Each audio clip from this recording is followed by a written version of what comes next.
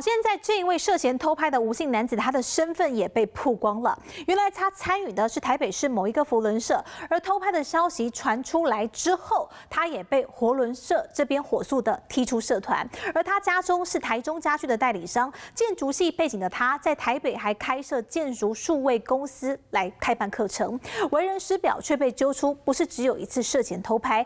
早在今年三月份，他才因为偷拍案被检方判刑了三个月。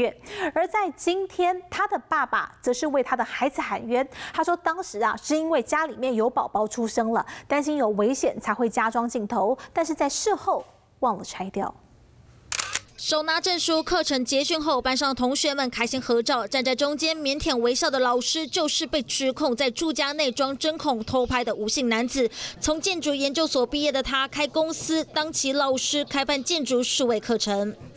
而他过往曾经也是台北市某福伦社成员，在活动中常常长进拍大合照，看似事业成功、交友广阔，却被揪出涉嫌偷拍，甚至不是第一次犯案。摊开今年三月的判决书，吴姓男子妻子从丈夫的笔电中发现有朋友来家中，在自家浴室被偷拍的私密画面，告知朋友后，两人气愤提告吴姓男子在庭上坦诚不讳，法官依妨害秘密罪判他有期徒刑三个月，可一颗罚金。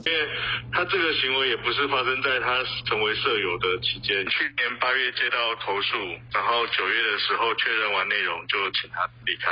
他违反了福人社员。高道德的要求。实际来到吴姓男子位在台中的老家，家中是家具代理商。男子父亲喊冤解释，当初是因为孙子出生，儿子担心会有危险，所以专门在浴室和卧室加装监视器，事后才忘记拆掉，也在司法上付出代价。但判刑后，镜头仍然还在继续拍，甚至还有其他受害者提告偷拍是否真的只是个误会，恐怕还得上法院说个明白。华视新闻张俊汉、尤华台北报道。嗨，大家好，我是颖彤。想要来抢先掌握最及时的新闻资讯吗？赶快订阅、按赞、开启小铃铛，锁定华视新闻的 YouTube 频道。